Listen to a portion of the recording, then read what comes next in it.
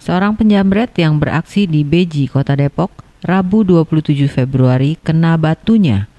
Pelaku bernama Dayat, 37 tahun, ditangkap masa di Jalan Haji Sanim, Kecamatan Beji, usai menjamret tas milik Anissa, seorang mahasiswi UPN.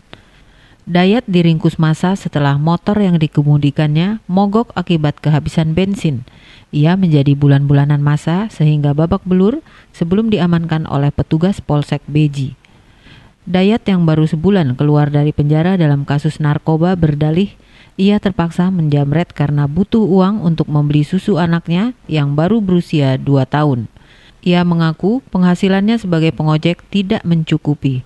Kapolsek PJ Kompol Agus Widodo mengatakan motor tanpa plat yang dipakai Dayat serta tas milik korban kini diamankan sebagai barang bukti. Dari Depok, Angga Palevi, Poskota TV melaporkan.